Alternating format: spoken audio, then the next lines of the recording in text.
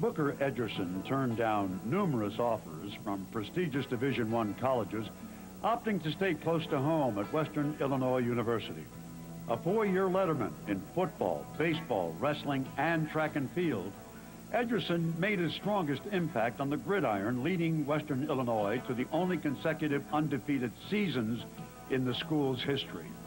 Booker signed as a free agent with the Buffalo Bills in 1962.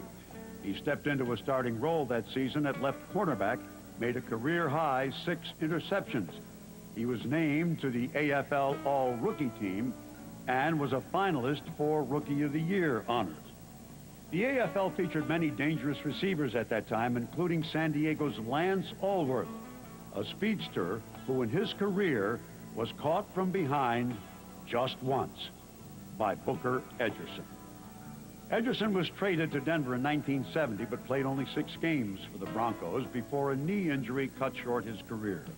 He returned to Buffalo and since 1980 has assisted his community, first as assistant director of the Erie County CETA employment program and later as director of affirmative action for Erie Community College, a post he currently holds. His induction tonight is the result of not only an outstanding athletic